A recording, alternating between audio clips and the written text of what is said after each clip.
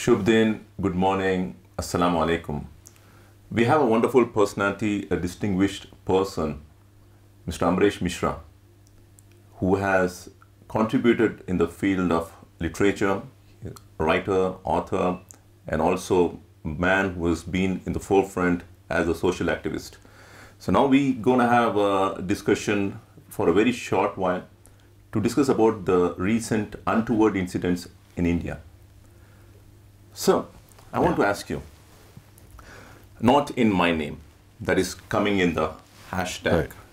You know, it's become a social media. People are all spreading this word. You know, not in my name, uh, condemning the brutal lynching that is happening in India, the untoward incidents, and to to the extent that even the Prime Minister Modi, you know, just in yesterday's news, I happened to see, he condemning the Gaurakshaks and saying that even Gandhi ji, he would not like to see these kind of you know incidents happening. Do you have anything to say on this line, sir? It's very interesting, uh, this question. Actually, uh, we all know that lynchings are happening and, you know, they are not, they're almost like this uh, tidal wave which is unstoppable. The Prime Minister saying that, that uh, uh, cow-related violence, in fact he use the word gau bhakti कि गौ भक्ति ये नहीं है that that this is not cow worship you know killing other people और lynching other people this is what was referring to but then he said that ये गांधी जी को अच्छा नहीं लगेगा अच्छा नहीं लगता you also to Vinoba Bhave's name now when the prime minister say something like this we have to understand what he's trying to tell his people, his core constituency, and then uh, at the you know uh, then then comes the question of, of of the message he wants to give to the society. So, on the face of it, uh, the venue was Sabarmati Ashram, and uh, his taking the name of Gandhi, it fitted in well with the you know with the surroundings, and it it it uh, on the face of it, it was a message of peace, taking Gandhi's name, asking the violence to stop. But the way he said it is important because he said that Gandhi ji को अच्छा नहीं लगेगा अगर गांधी जी होते तो उनको अच्छा नहीं लगता तो ये जो यू नो ये see this is some kind of a message which which is trying to send to his cadres and he is trying to say that well Gandhi ji might not have liked it be a little moderate in what you are doing Be a little circumspect in what you're doing. But this is I will not take this message as as as Modi finally telling Gaurakshaks to stop. No. He has he he has that would have that would have been a different message altogether. Okay, Gandhi ji को अच्छा नहीं लगेगा. हाँ. Does that mean even Modi ji को अच्छा नहीं लगेगा? नहीं इट मीन्स कि मोदी जी की- मतलब कि हम जो हैं मजबूर हैं ये कहने के लिए कि तुम लोग रुको I have a very uh, you know candid question. See, on one fine evening, Modi ji appears in front of the television, international media, and just demonetize the entire 500 and 1000 rupee currency. On one evening, he could do that. If he wanted to do the same with Gaurakshas after so many incidents, instead of condemning time and again, can't he take a stand and ban them immediately? Why isn't taking that kind of a bold action as people would expect him to be? This is because uh, I think he needs uh, the Goraksha violence. Goraksha violence is, You Is think he needs? yeah, yeah, he needs No. Goraksha violence. Absolutely. He needs Goraksha violence. Because without Goraksha violence, they do not have a narrative for 2019. When Modi came to power, the basic point was that he, as a Vikas Purush, that, uh, that he will pursue the politics of development. But, you know, since uh, it has been three years, FDI is not coming, the economy is not picking up, then you have done, uh, then you demonetized, and that has further led to a crisis even, uh, even in the farmer sector. Small business, small businesses are closing down. So now you have to go to plan B, which is communal tension, communal polarization, and this and and right now he needs Goraksha. If if this violence stops, then of course you know he and he has, he he also said what is what he said, keeping in view the presidential elections, you know, 17 July. So some message had to go out that well, you know, that that I'm trying to placate uh, things. But this is hypocrisy because we last year also he made a similar statement. This time, in fact, it was a much more coded thing, where he was actually basically telling telling his supporters to take a pause, to just pause for a while, maybe till the you know till till 17 July, uh, and then and then to go on because uh, the ultimately uh, the, the ultimate objective of this exercise of this Gorakshak violence is to force the uh, Muslims to uh, uh, to retaliate Okay. and and and uh, and they want you know they, they want at least they're waiting for an opportunity where someone if nothing else drives a car into people you know? And and uh, and and and some action takes place and then they can term it as a big incident and then they will justify more violence against muslims uh, based on that incident. Number 2 if that doesn't happen if supposing things go on as they are a- and muslims they uh, you know they do not Yeah, uh, Indian Muslims this- generally, take they don't yeah, retaliate this yeah, way. Yeah, yeah, they don't uh, take this way. Yeah. Then the next part is to organize a, a terrorist attack in India. You And- organize a terrorist attack. Yeah, absolutely. What, what do you mean by organizing? Organizing means that you see, terrorism nowadays it's an international business. There, there are many international agencies involved, and they do things for governments. Like for example, you, you know, there, there are agencies who are in sync, and they are like, for example, Mossad, CIA, you know, maybe RAW, ISI. They have their own, uh, they, uh, they have their own conflicts also. At the same time, they can get together when an operation is being planned, and this, and and and uh, the government of the day, whichever country, you know, the government pays for this, and they get it done, if it suits them politically. And this has been happening in Europe for quite some time. But but uh, has it happened in India uh, anytime uh, before this? India, we suspect that two, suspect uh, that that No. 26 by 11, Okay. 26 by 11 was a kind of a desperate uh, attempt to stop Karkare's investigations because Karkare's investigations were leading to a point where uh, where Modi might have been implicated directly. Because Pragya Thakur, after Pragya Thakur, Rajkumar Purohit, Aseemanand, m- you know, the, uh, the name of an RSS uh, leader, Indresh, had already cropped up. Uh, the, the IB was getting involved. The, it was, and, and uh, on the Ishrat Jahan encounter, uh, Modi was, you know, falling into the net. And then, the, and then there is the, the uh, then there was a Haren Pandya thing. So there were so many things, and Karkare had to be eliminated. Now, what is a false flag operation? False flag, uh, a false flag operation is that supposing if if if if and and this is a classic uh, term, uh, you know, in the spy agencies. That supposing if I, if I have to take out five people in a hotel who are who are living in a hotel, then maybe I'll have to blow up the whole of you know, and and kill like 95 innocent people. Then those five will also be killed. So it's like so basically, you know, the the terrorist incident, they wanted to get to Karkare, they wanted to. There were many other agendas, but but let's uh, let's stick to one. 26 by 11 was was a kind of an attempt to uh, uh, to uh, to to stop, uh, you know, what was going on and to stop these investigations, especially on on, Hindutva terrorism and it it did not work out the way they wanted it to work out but but it was an organized thing and it was not something which just you know a few terrorists just woke up one morning and decided to attack the taj it didn't happen that way Okay. So how do you see the future of uh, India in the next two years when all of these kind of incidents are happening? Do you expect polar- polarization of the communities? Do you expect that uh, BJP coming to power? you see polarization there now bjp only has polarization left. I mean this is the plank which they are going to play till till 2019 and they need some kind of a uh, they need a series of incidents. So right now they are focusing on goraksha violence.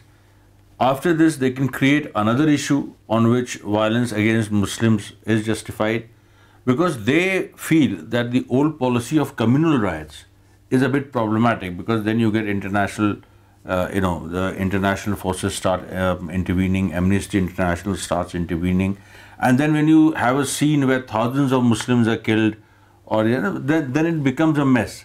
Now he, Modi wants to, I think, you know, he wants to avoid, he wants to avoid this mess, and the way they have uh, and Goraksha violence, like isolated incidents, which can easily be disowned.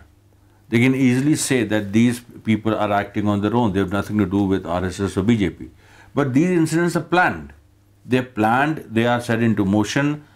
In all these incidents, if you see, Muslims uh, have been caught in areas where they are few in number, where they're isolated, and there is always a group of 8 to 10 people. Like in Junaid's case, you saw, even in Akhlaq's case, his, his was, you know, I think the lone house or just one of the two uh, two, three houses of Muslims in that village. So they will do this because people people don't know the context. So they they take it as if as if these were bad Muslims who were trying to do something bad, and uh, you know what the Gorakshaks did was was was right.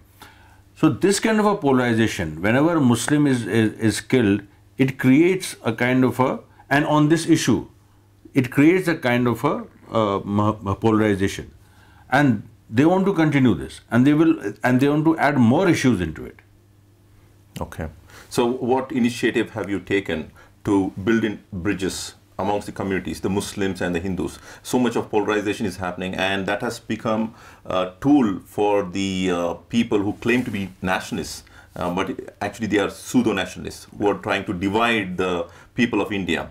So what have we got to do in the coming days so that we break this uh, polarization? You see, we have to raise an issue which unites Hindus and Muslims. Now, we were we have been talking about the issues of brotherhood, that how India has been a land of migrants and people have come here from different areas, they have mingled together and they have you know created a culture which is which is a composite culture. But the RSS has uh, a different narrative. It is a narrative about one nation, one religion, one race, one language even. So now that that uh, that narrative do, do they somehow, still hold, to, hold to the one language thing uh, they still hold to that okay. they, they still hold to that and they are trying in fact they're trying their, this experiment in bengal first okay they're trying to kind of attack the bengali language okay and they're trying to and, and you'll be you'll be surprised by the by the audacity because one would think that they will lose elections but somehow or the other you know this they are bringing out this latent feeling among you know among people, uh, especially in areas like Bengal, that uh, that we were Hindus once, and then the left uh, and the leftists came, and then they spoiled everything. And let's get back to uh, it. And what's wrong in in learning Sanskrit and Hindi? So these kind of this kind of a thing. Now, for us, it's a challenge. It's a challenge because the India which was envisaged by uh, in the freedom movement and and, and the RSS, they didn't take part in the freedom movement. In fact, they stabbed the freedom fighters in the back. Now, 1857, we have taken 1857 as the theme. 1857 is India's first war of independence. And the best part about, is, uh, about it is that it has, uh, that 1857 produced martyrs in all of Hindu castes. All Hindus, all Hindu castes, subcastes, and it was spread all over the Hindi belt and each and every caste has its hero.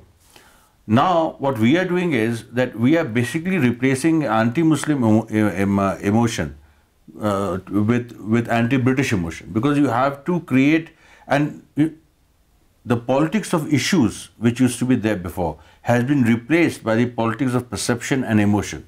So, we also have to create, we also need to have a have an emotional narrative. We have to tell people that that that look, uh, your ancestor, he shed blood for this Muslim, or this Muslim shed blood for your ancestor, and now I am asking you मैं उस जैसे होता है हिंदी में कि मैं उस खून की कीमत आपसे मांग रहा हूँ कि वो जो वो जो लहू बहा सो so, क्या ऐसी बह गया वो तो you know it was that blood was shade to make a certain kind of a, of a society where it was said that even if our mazhab is different, deen is one. The deen ki baat aayi thi 1857 and that was a war cry that both Hindus and Muslims used to say deen, deen, deen.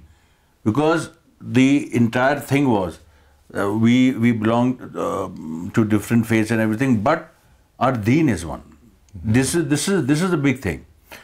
We are raising certain issues, like for example, the graves of, of cruel British officers, which are there in Lucknow and in many UP cities, and these are mass murderers, and their graves still carry laudatory phrases, plaques.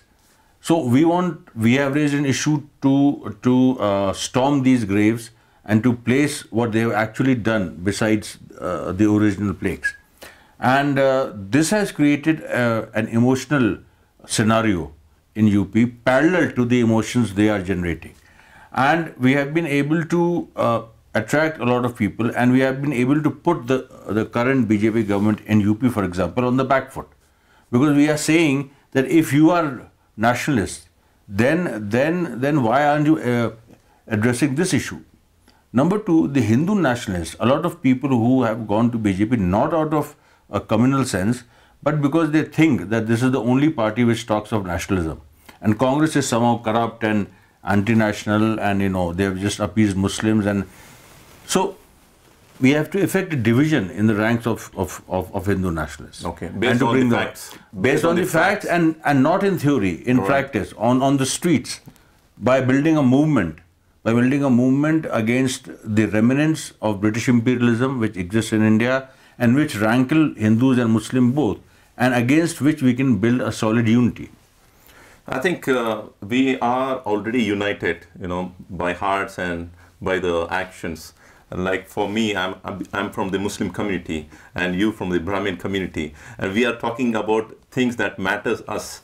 And when we can feel that we are together, you know, for a cause and for our own well-being, and that can happen only if we are united, then the same thing should reflect to the entire society. Yeah. And that is impending upon the leaders of our communities who have to understand this and who have to pass it across the Yeah, absolutely. nation. Who have to understand the line of 1857 and to kind of start talking to, uh, like, you know, um, uh, uh, like I have, you know, been, um, I, I'm going into the, uh, um, into the Dalits, into OBCs, because these are the foot soldiers, which the communal forces that, uh, you know, they are the foot soldiers of, of communal forces who are used in riots.